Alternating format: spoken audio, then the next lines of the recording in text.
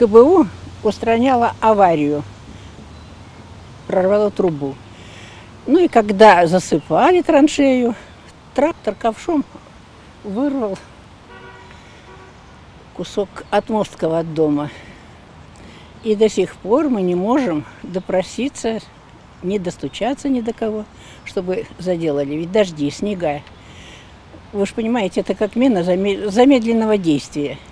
Если они эту аварию устранили, и она видна, а вот это, дом разрушается – Напомним, два года жители добивались восстановления этого участка. Однако, как мы рассказывали ранее, за это время ничего не поменялось. На место выехал директор комбината бытовых услуг. Мы выехали. Действительно, есть не очень качественная работа работников МУК КБУ. 5 июля этот дефект будет устранен. Почему на 5 июля? Потому что у нас сегодня очень серьезная работа идет по в районе остановки Березовая. Мы там меняем магистральную сеть. Сегодня уже 8 июля. Мы решили проверить. Действительно, участок, который коммунальщики повредили еще в 2019 году, привели в порядок. Работа выполнена.